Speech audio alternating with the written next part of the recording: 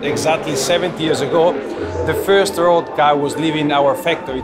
So in the 70th anniversary, there was not a better year to start this collaboration because all the experience, all the technology, all the knowledge that Intel has as far as artificial intelligence is concerned will give the possibility again to look at the race from a different perspective, increasing the experience both for the driver but also for the fan. AI techniques allow us to basically bring together many sources of data and visualize it or, or find a, an outcome that we wouldn't have seen before.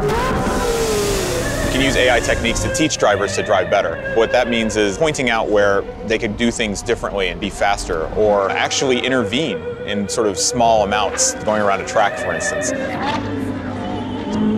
We have in-car video. You can see what's happening within that car or in front of that car, but you can't really see the relationship with that car and the track, the relationship with that car and other cars.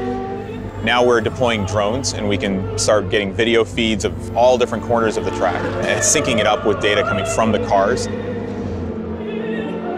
Five years from now in the motorsports uh, world, I, I, believe we're going to be using a lot better analytics based upon AI techniques. A human can only take so much data in. And that's really what AI systems can do. So we can bring together much more data with these systems, things we really couldn't do before.